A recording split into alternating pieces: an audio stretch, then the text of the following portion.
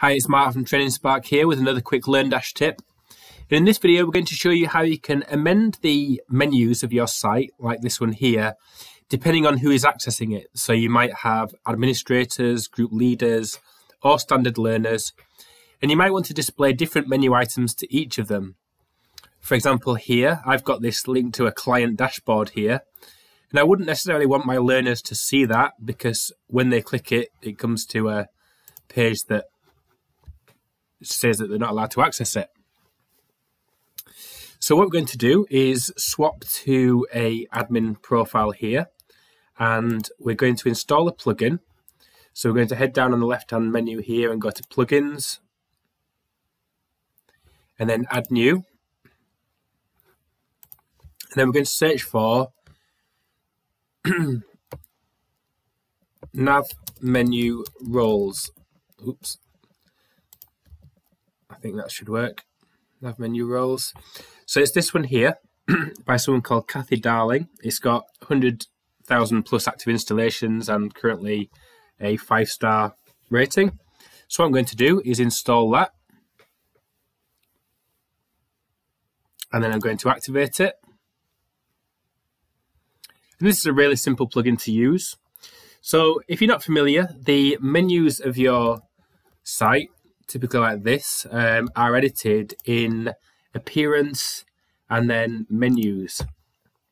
And what you might find is that you have a, a primary menu and potentially some other ones, you know, footer menus and things like that. And here's where you would add and remove items from it. So you can see here we've got home, all courses, about, client dashboard, and contact. And the they are reflected here at the top, and um, this is what the, the items that we're going to change here. So what I'm going to do is make it so that this client dashboard option here in the in the menu only appears to admins and group leaders.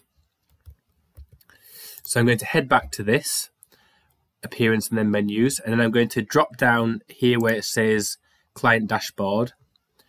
And now that we've got this plugin installed, we have a couple more options here, display mode and target audience. And at the moment, these are set to show and appear to everyone. But what I want this to appear for is only logged in users.